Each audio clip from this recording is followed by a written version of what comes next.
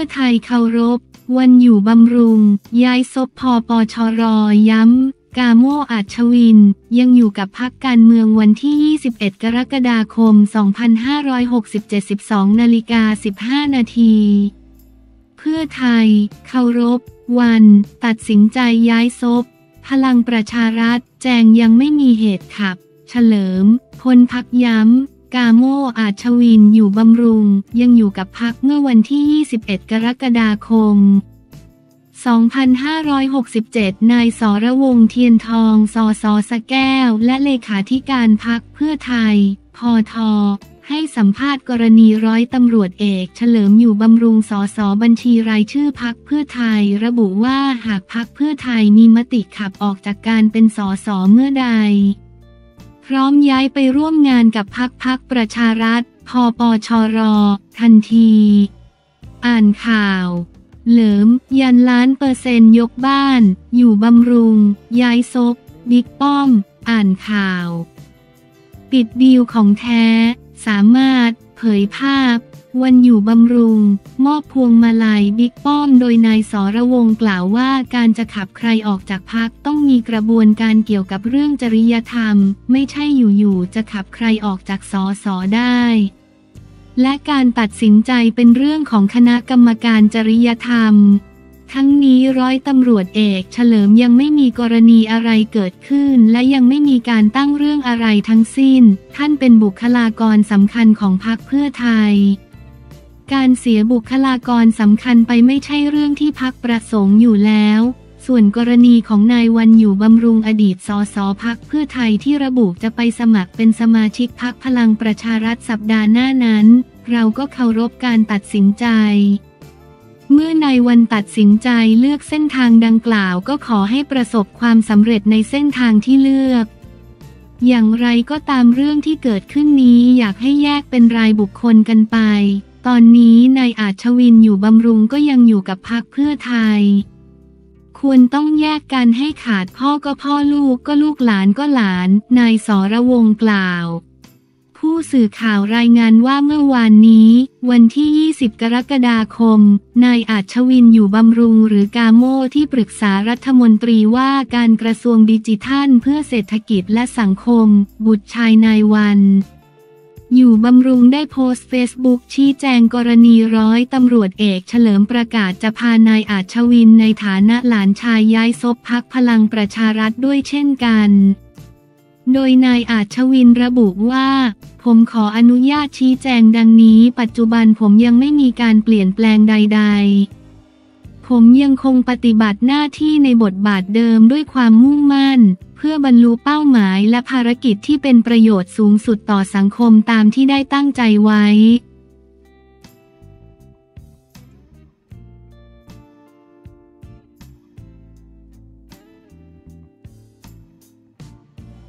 สอนรามน้ำเพชรแจงสาเหตุสวมชุดลิเกเข้าเรียนปริญญาเอก ยืนยันไม่ใช่คอนเทนต์ บันเทิงวันที่ 21 กรกฎาคม 2567 10นาฬิกา 21 นาทีสอนรามน้ำเพชรแจงสาเหตุสวมชุดลิเกเข้าเรียนปริญญาเอก เข้าใจคนมองสร้างกระแสแต่ยืนยันไม่ใช่คอนเทนต์ กลายเป็นไวรัลหลังเพจ Facebook ของมหาวิทยาลัยนอร์ทกรุงเทพได้มีการเผยภาพของพระเอกลิเกชื่อดัง แบงค์ ศรรามน้ำเพชรใส่ชุดลิเกไปเข้าเรียนปริญญาเอก ซึ่งต่อมามีหลายได้เห็นมองว่าเป็นคอนเทนต์เรียกกระแสตำนานอีกแล้วพระเอกดังเสร็จงานก็รีบมานั่งเรียนปริญญาเอก ทั้งในชุดลิเกล่าสุดแบงค์ ศรรามมาร่วมงานครบรอบ 45 ปี นิตยสารแพรวแพรว Talk 2024 The Inspiration ณเซ็นทรัลเวิลด์เจ้าตัวก็ให้สัมภาษณ์ในเรื่องนี้ อย่างที่มีภาพแบงค์ใส่ชุดลิเกไปเรียนคือแบงค์ไปเรียนตอนเช้าแล้วก็ไปงานลิเกตอนบ่าย และต้องกลับมา present ในคลาส เพราะมีอาจารย์พิเศษมาบรรยายเราขาดไม่ได้ ก็เลยรีบกลับมาถึงมหาวิทยาลัยเกือบห้าโมงเย็นก็ขึ้นไปทั้งชุดนั้นเลย แต่มีการแจ้งอาจารย์กับทางมหาวิทยาลัยไว้แล้วครับ ก็เลยเกิดภาพนั้นขึ้นมา แต่แบงค์เข้าใจที่หลายๆ คนอาจจะคิดว่าเป็นคอนเทนต์เรียกกระแส เพราะหลายๆ คนอาจจะไม่รู้ที่มาที่ไปว่าทำไมแบงค์ถึงใส่ชุดลิเก ก็จะบอกว่าถ้าไม่มีงานแบงค์ก็ไม่ใส่ชุดลิเกไปเรียนหรอกครับ คือแบงค์เตรียมใจและเตรียมตัวไว้แล้วครับ คือปริญญาเอกค่อนข้างซีเรียสมากๆเราก็ต้องทุ่มเต็มที่เพราะว่าไม่อยากให้ใครมาตั้งข้อสงสัยว่าเราไปเรียนจริงไหม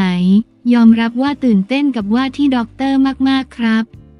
สองปีแปดเดือนก็จะเต็มที่ครับ ถามว่าจะใส่ชุดลิเกเข้ารับปริญญาเลยไหม วันแรกคงต้องเป็นชุดครุยก่อนครับ ส่วนอีกวันก็ค่อยเป็นชุดลิเก เพราะแบงก์ก็ภาคภูมิใจนะ เราเป็นพระเอกลิเกทำอาชีพลิเกมาตั้งแต่เด็กจนถึงตอนนี้ จนได้เป็นว่าที่ด็อกเตอร์ตอนนี้คิวงานไปถึงปี 70 แล้วครับ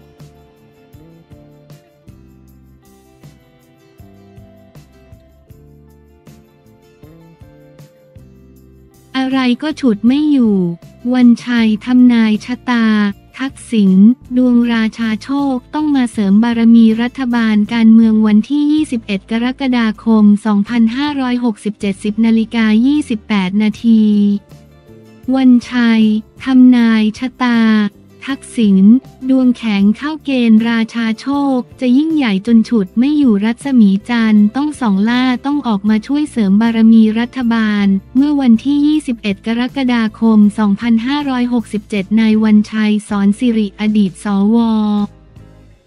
โพสเฟซบุ๊กเรื่อง ดวงคุณทักษิณกับราชาโชค ระบุข้อความว่านายทักษิณชินวัตรอดีตนายกรัฐมนตรีเกิดวันที่ 26 กรกฎาคม 2492 เวลาก่อนเที่ยงตรงกับวันอังคารปีฉลู มีทั้งจันเด่นและจันดับมีทั้งคนรักคนเกลียดตรงกับราศีเมษมีดาวพฤหัสกุมเกตเป็นราชาโชค ยังมีอีกหลายดวงดาวที่เกี่ยวพันกับดวงชะตา หลังจากเดือนเกิดต่อแต่นี้จะมีแต่แข็งและแรงขึ้น ยิ่งอยู่ในฐานของราชาโชค มีแต่โชคที่ยิ่งใหญ่เคยดับอับแสงจะกลับมาสว่างสวัยเจิดจ้าเป็นโชคชะตาที่ยิ่งใหญ่ไปสุดๆ จะได้รับการยกย่องตามหลักโหราว่าเป็นปทุมเกณฑ์ ชนิดที่คิดและก็คาดไม่ถึงนายวันชัยระบุอีกว่าจะปล่อยให้นายเศรษฐาทวีสินนายกรัฐมนตรีและพลพรรคเพื่อไทยขับเคลื่อนอยู่เช่นนี้ ยังไม่มีผลงานใดที่โดนใจประชาชน ได้แต่เต้นแรงเต้นกาไปวันๆประชาชนก็เห็นแต่ท่าแต่ทางไปเท่านั้น ที่จะชื่นชมนิยมยกย่องยังไม่มีเลยขืนปล่อยไปเช่นนี้ทั้งเพื่อไทยทั้งครอบครัว ทั้งตัวนายทักษิณก็จะถูกจันดับอับแสงไปด้วยจะอยู่ในที่มืดต่อไปคงไม่ได้ จันต้องออกมาส่องล่าด้วยตัวของนายทักษิณเอง สถานการณ์นี้คุณทักษิณต้องออกมาขับเคลื่อนให้เห็นเด่นชัดแบบตรงไปตรงมา เพราะดาวพฤหัสและราชาโชคเปิดโอกาสให้แล้ว ไม่ขยับตอนนี้แล้วจะไปขยับตอนไหน ดูจากดวงดาวจึงต้องเป็นคุณทักษิณชินวัตร ส่วนจะบริหารจัดการกับอำนาจอย่างไร ก็เป็นเรื่องที่จะต้องตัดสินใจกันเองให้เกิดความพอดีพอเหมาะ ร่วมมือร่วมใจรัฐบาลก็เดินไปได้ คุณทักษิณก็เป็นกำลังเสริมเติมให้เปรี้ยงปร้าง ดาวพฤหัสและราชาโชคมาถูกที่ถูกเวลากับชะตาของเขาอะไรก็รังไม่หยุดฉุดไม่อยู่ นายวันชัยระบุ